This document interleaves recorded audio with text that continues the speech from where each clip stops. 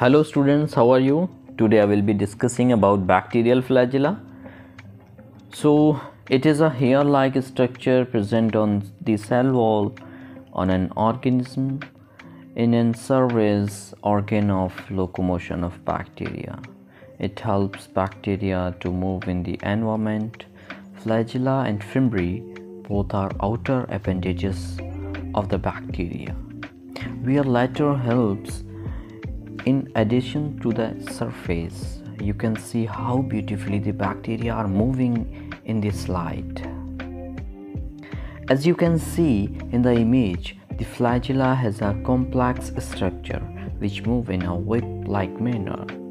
It is helical shape and contain the protein flagellin.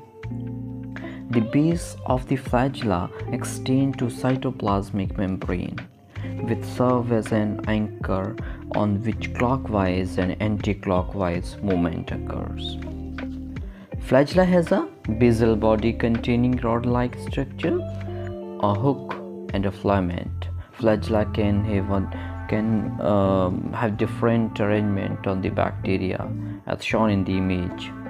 First, monotrichous single polar flagellum at the one and at the on end.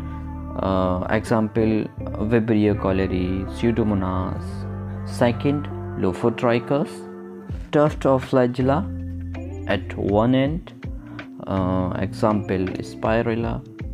Third, Amphitrichous, single flagella at both the end. Example Campylobacter jejuni Fourth, peritrichous. Flagella present on the entire surface of the cell. Example, E. coli, Salmonella.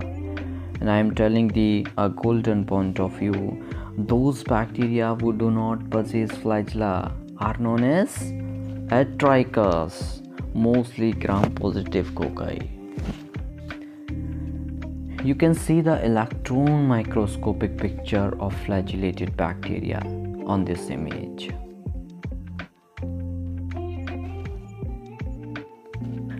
So let's answer the few simple questions.